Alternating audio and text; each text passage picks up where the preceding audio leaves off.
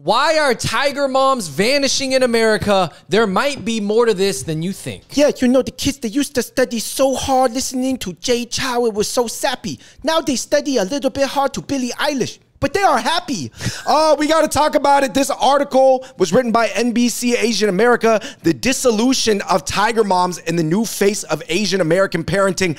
I'm letting my kid be quite feral, Jennifer Chan, a mother of two, told NBC News she just runs free. What's happening, Andrew? No Whoa. more tiger moms. All right, guys, we got about 13 reasons why tiger parenting is starting to vanish in America from the second generations a lot of kids who are raised by tiger parents themselves, they don't want to continue.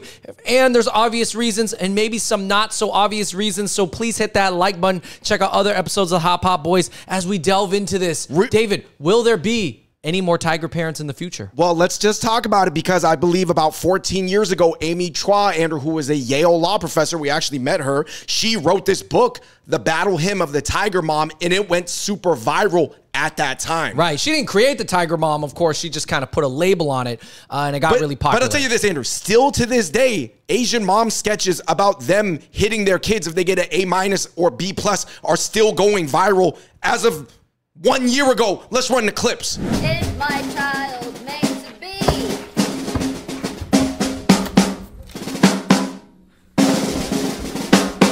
I am General Tao, your senior drill instructor. When I am done with you, you will become fully trained Asian mothers. Cold, heartless, void of positive affirmation. Weapons of psychological and emotional damage. I hear. Oh yeah, speaking of my son, he practicing right now. Practice very hard. But it's okay, we can keep going. Oh, so listen, um, the article is primarily focusing, Andrew, on Gen X, second gen parents, and older millennial Asian parents that were born in America saying, I don't want to be my mom.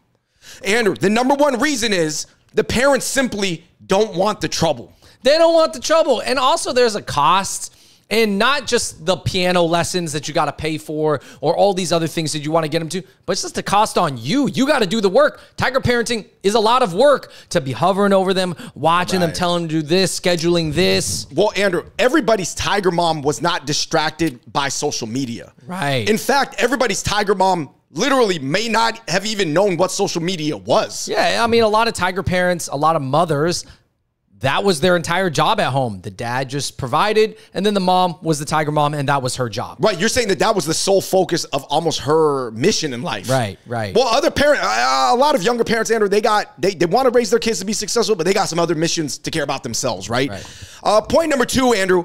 Um, a lot of second gen parents that are born in America are relaxing and probably don't view success in the same hyper conventional way that their parents did. Yeah, I mean, listen, I think that a lot of Tiger parents, and I think they mentioned this in the article, but it's like, what is like the success that the Tiger parents had in mind was a very narrow image of success. And now that you're Americanized, you know that there are so many different ways to be successful and still be proud and still be a good person. And you don't just have to be a doctor or a lawyer, which is requires tons of schooling and, and a lot of degrees. I, I, do think that people seeing all these people get rich off like investments and crypto and stuff while they were like slaving away, working 80 hour weeks at a very brain cognitive intensive STEM job did make people go, oh, maybe I'll just get my kid to be on the next big technology. Right. Uh, point number three, Andrew parents that are, you know, second gen Asian Americans don't want the strained relationship with their children that they had with their parents. All right, let me ask you this, David. To the Tiger parents or the people who went through Tiger parents growing up. And, and there's different levels of it, yeah, right? Yeah. Low, middle, high. But like, I don't think a lot of those Tiger parents really thought or cared about straining the relationship. I think later in life, they regret it because they're like, damn, you know, due to what I was doing, you know, it made my children not really have a good, uh, they kind of wanted to resent me now. You know, but like, I think back then they were just doing what they thought was right and they thought being strict was right. They thought not saying I love you was right. They thought uh, not letting you go outside and play with that person was right. They thought drilling you for hours on end was right. Right. Was they the were almost right running thing. a Confucian Shaolin monk style playbook, Andrew, in a time where people, the other American parents were not on the Shaolin monk Confucius train at all. Yeah. And also, listen, why would you want to strain a relationship with your kid, especially nowadays? People are only having like one or two kids. You're not having that many Oh, kids. so you're saying you can't afford to have the one kid that's like kind of got a good STEM career or a law career, but they resent you? Listen. Because you're like, man, I I only got one kid. What if that kid resents me? Then how am I gonna feel? Well, you know, man, back in our generation, man, we had five kid, you know, out of five kid, you can expect one kid to resent you. That okay. That okay. You take Right. 20%. It's okay. But now with two kid, that's 50% if one kid resent you. That's true. Uh, People are just playing the odds. Um, point number four. Most parents psychologically there is an actual psychological theory behind this. Maybe you could call it freudian or whatever. You know i didn't get a degree in psychology whatever psychologist you want to uh, uh, attribute this to that people raise their children with the voids that they felt like they were missing growing up.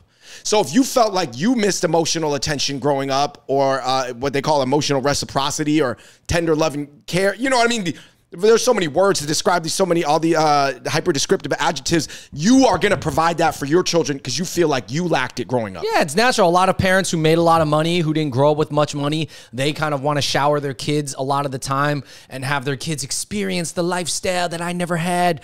But in this case, it's not necessarily money. It's just, I just want my kid to experience like the American freedom that I never had. Right. Like I always felt like different from everybody at school. Yeah. And like I just knew I was just getting raised so in a different universe. And not to mention, guys, let's be honest. If we're talking about tiger moms, if we're not, we're, what you're surprised that a lot of Asian American women don't want that lifestyle. That's exactly the lifestyle that they left. I mean, a lot of the kids in this article are like mixed kids with like white husbands. So it's like, of course, that mom is not marrying the white guy just to be a tiger parent. Uh, also, a lot of people got to understand that it is true that the locked inness of the Tiger Moms partially was driven by actually war too.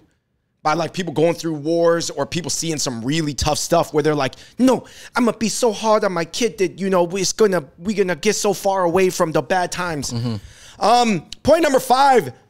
Asian Americans felt shame for their personality growing up and don't want their kids to go through it. So maybe growing up they felt extra cheap or they felt extra like they would just have emotional reactions to the way they were raised that people around them that are more Americanized didn't have and that made them feel weird because they couldn't control that that's how they would uh, viscerally react to things. Yeah, I mean, listen, this Korean American girl from Queens, she said growing up, uh, there almost felt like there was no feelings in the house. And even though she naturally was more of a creative minded person, it always felt like she was being shamed for her personality, even within her family. I'm not talking about at school. She felt like she was shamed by her parents for being a creative Right, person. ju- for just having a lot of oxytocin.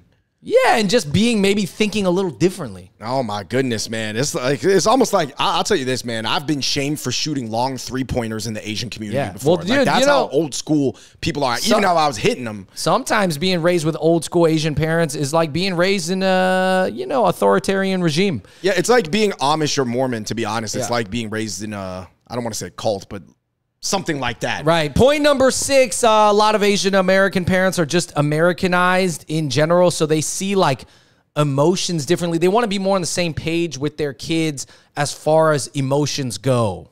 Right. Right. They're saying they incorporate more instances I love of I love you and other verbal affirmations as well as space for their families to open up and encouragement for their kids to find out who they are as people. Isn't it funny that David saying the phrase I love you is seen as an American thing?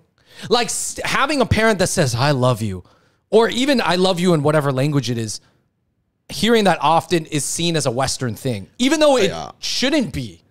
I think that it even is more. I want to say uh, American parents may even be more effusive than European parents, specifically Eastern European parents. I, I yeah, maybe. yeah, right. like I, I think even British people are known for having a stiff British upper lip more, but I, I think French people be about love though. Uh, okay. I don't know. You know, America is different. American culture is like a amalgamation of like a lot of European cultures mixed with like a hypercharged development curve. Right, right, it's very difficult to explain. Point number seven: gentle parenting allows kids to develop with less hands-on uh, guidance, so it allows the kids to become more of who they are. Right. And also, I think that a lot of kids who were raised by the hovering tiger parent, but also at the same time um, pampered by them. Because, you know, part of tiger parenting is you're kind of giving the kids so much to do that you're almost, it turns into pampering sometimes. So now, if you are more hands off on the parenting, you can make the argument that your kid is going to become stronger by themselves without having you to do everything for them. Right, right, right. You're saying they're you're, you're getting less coddling, but in a way, it, it, and and it's true that the form they will take will be different because you coddled them less, but it'll be a stronger form Right, right, of who right. they were meant to be. Right. Uh, point number eight. They view it, uh, a lot of Asian kids just view it as a first generation parent thing because they see the fobs around them still raising their kids like they were raised. So if they have a reference point, like let's say, for example, Andrew, you're an Asian American parent in Irvine, and there's a mixture of fob parents and ABC parents, let's just say second gen American born Chinese, you're gonna look at what the fobs are doing, and it's gonna be more similar to the way your parents raised you, and you're gonna have an, an allergic reaction to that. Exactly. Because you're gonna what like have examples to to be like, oh yeah, no, no, no, that's way too similar to the old ways. Point number nine: there is just a belief amongst Gen X parents and millennial parents that their kids will figure it out. Like for example, this guy Andrew has uh is raising his kids in Seattle, very geeky place by the way, as people from Seattle can attest to. We we are from Seattle. He says his kids want to become video game designers, but he's just like, man, I think they'll figure it out. Wow. Which is uh, very different, obviously, than old school parents. Yeah, I mean, who knows? He probably has a good salary, though. I mean, I think a lot of Tiger parents maybe, yeah, it was just out of a, a deep need to do it. Um, number 10, uh, you know, parents nowadays are just more open to mental health and they value it more. Like that phrase mental health was not really used in a Tiger parent household. In a lot of traditional Asian households, what is the word for mental health? It doesn't exist. David, what is even the phrase in Chinese? Do you know? I don't know. Naozi hao ma? I don't know. is your brain okay? I Brain mean, I would say that um, you know everybody that is Asian American. If you grew up in uh, some sort of community thing, a church thing, a lot of cousins, whatever it is, everybody knows somebody who is conventionally successful with a higher than average salary or much higher than average American salary that is unhappy. We personally know somebody, Andrew, who is a lawyer from, I'm not going to say the law school, from a top five law school.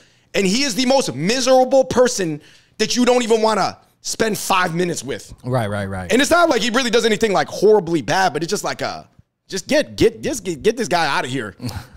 Point number 11, Andrew. Uh, they're just trying to have balance, whether they successfully balance it or not. They're searching for balance. So you think these parents are okay as long as their kid is balanced, even if the kid isn't super successful, whatever successful means? I think on a conventional level, there's slightly higher risk probabilities that your kid like is not as conventionally successful as they would be if you had the hardcore tiger parenting with the hands-on, you know, shaping and molding all their choices in life and all the forks in the road guiding them. But I think that ultimately they may uh, be happier because you're raising them in a more American way in an American environment. But obviously, you probably want to mix it. You want you want to have a hybrid approach. Right, right, right.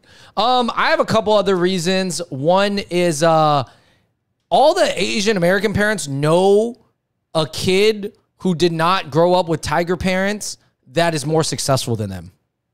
Yeah, because every tiger parent kid, every tiger cub that graduated from tiger parenting knows somebody who ended up more successful than them that had less of a tiger parent than them. And they want that. They're like, that's the best move. They're like, I want to. I want to give my kid the best chance of being successful, and I don't have to treat him like that. Right, right. Whether they were, uh, oftentimes I think there, there's more of a, it, it impacts them, especially if that kid is Asian. Right.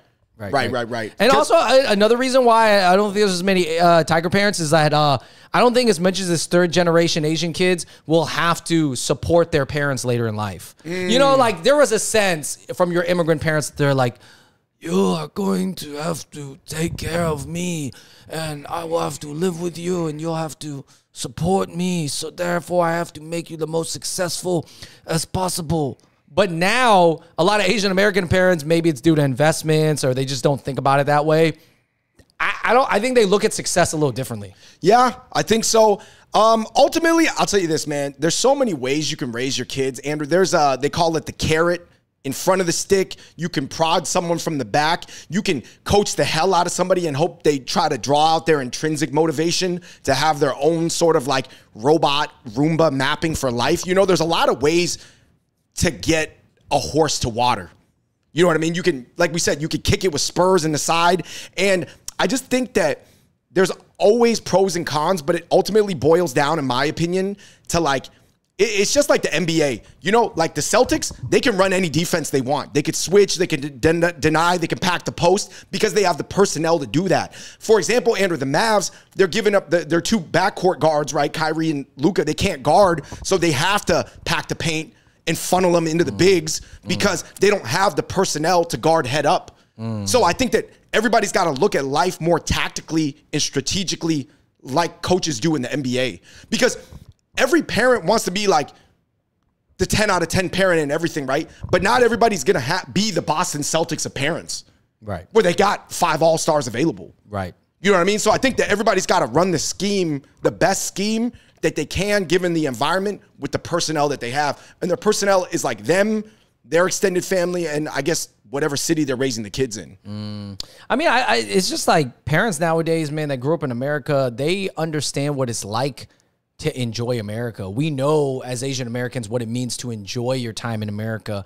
A lot of the time, the immigrant parents, the traditional immigrant parents, they didn't fully enjoy America because they didn't really make it yet until maybe later in life, or they didn't really make it yet until their kids became successful. So they don't really know what it means to live a balanced American life because they never really experienced it. And uh, yeah, I mean, I think some Asian American parents that I know are going to be you know, slight tiger parents. And I think that's still good. I still think you can be strict with your kids. They're your kids. You're going to raise them how you want. But I think we all know we, we grew up in America too much to know, to believe that that strict traditional tiger parenting, even if we're capable of it, which we may not be, is the right way to do it. Right. And uh, like we said, I don't think this was only limited to the Asian community. I think a lot of immigrant first generation uh, parents who give birth to kids, the kids are not going to raise the kids like the older generation. Right. This article was just hyper focused on the Asian one.